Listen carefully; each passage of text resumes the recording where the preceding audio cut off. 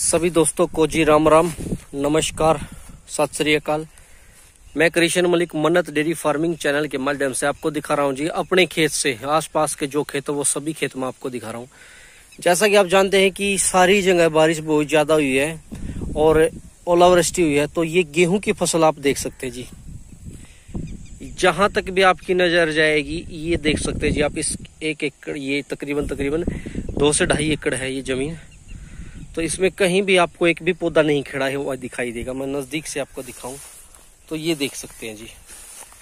ये इस साइड देख सकते हैं जी। सारी जो है, फ़सल ज़मीन के साथ चिपकी हुई है जी। ये देख सकते हैं अभी अभी कच्ची थी जी, बालियों में थी। और ये यहाँ पर लॉस देख सकते हैं जी आप। क्योंकि फार्मर को उम्मीद थी जी यहाँ पर कि मैं अपनी फ़सल जो है मंडी में बेचकर अच्छा मुनाफा यहाँ से लूँगा। तो क्योंकि किसान, कमेरी कौम, फार्मर, जमींदार, एक ऐसी कौम है जी जो बार बार जो है प्राकृतिक आपदा के कारण पीछे जाती है और फिर से उठकर आगे आती है। लेकिन बार बार गिरकर उठना, संभलना, मैं कहूँगा कि अपने आप में एक बहुत हौसले का काम है जी। तो चार पाँच महीने की मेहनत के बाद जब किसान की फ़सल पकने वाली थी तो ये प्राकृतिक आपदा ने ये इधर भी देख सकते हैं जी। जहाँ तक भी आपकी नज़र जाएगी, मैं कहूँगा कि आपको सारा खेत तहस नहस दिखाई देगा। अगर एक एकड़ की एवरेज की बात करें, पंद्रह क्विंटल की अगर एक एकड़ में एवरेज थी तो अब फ़िलहाल वो घटकर दस के आसपास ही मिलेगी।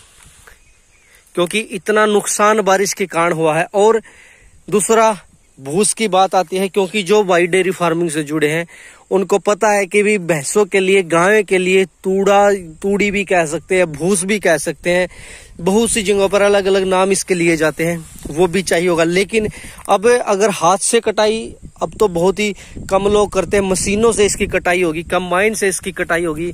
तो जो फाने नीचे चिपक गए हैं वो भूस की भी एवरेज इसमें डाउन मारेगी। आखिरकार लॉस किसका हुआ? लॉस हुआ जी फार्मर का।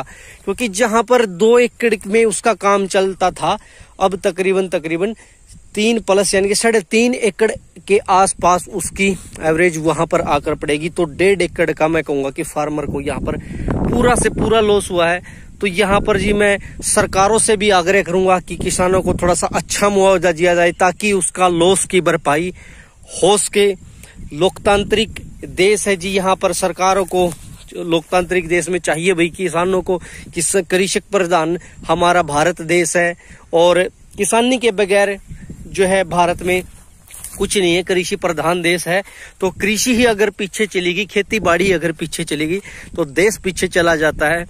तो जी, जो भाई आसपास इधर उधर देख रहे सकते हैं, देख रहे हैं हमारे वीडियो तो जी उनसे आग्रह करूँगा कि वीडियो को शेयर करें ताकि किसी ने किसी अच्छे इंसान तक वीडियो जाए, जहाँ पर भी किसी प्रकार की भी किसानों के लिए कोई आवाज़ उठा सके, हेल्प करवा सके सरकारों से तो जी ये देख सकते हैं, क्योंकि आंकड़े सरकार भी उठाएगी, ऐसा नहीं है। आंकड़े सरकार भी उठाएगी पटवार खाना भी उठ के खेतों में आएगा, गिरदावर भी खेतों में उठ के आएगी, उसके बाद एक औस्त निकाली जाएगी कि भाई कितनी जो है नुकसान किसान का हुआ है, क्या उसको रेज देनी चाहिए, और फिर कई बार देखने में आता है, जो ऊपर से मुआवजा आता है, वो आखिरकार किसान को उतना नहीं मिल पाता है। सबको पता है, ये चीज़ें कहने की ज़रूरत नहीं होती है, लेकिन मैं यहाँ कहूँगा जी, किसान का बहुत ज़्यादा लॉस हुआ है। अब अगर खेत में आके देखे तो जी, खून बिल्कुल जलता है। दुख बहुत होता है, लेकिन प्राकृतिक आपदा है, ऊपर वाले से ज़्यादा बड़ा कोई नहीं हो सकता, उस अलौकिक शक्ति से बड़ा कोई नहीं हो सकता। तो जी, ये थी एक छोटी सी वीडियो जो मैं आज आपको अपने खेत से दिखा रहा हूँ, जो ये बालियाँ खड़ी हुई हैं। इन बालियों को देखकर भी ये लगता था, भाई ऐसी सभी के खेतों में खड़ी हो, लेकिन इसके साथ आगे ही आप देख सकते हैं, बिल्कुल पूरा खेत तहस जी, सभी का खेत ऐसे है एरियाज़ में, जहाँ तक भी आप देख सकते हैं, जी मैं ऊपर से कैमरा करके आपको दिखा रहा हूँ, वहाँ तक आप देख सकते हैं, जहाँ तक आपकी नज़र जाए।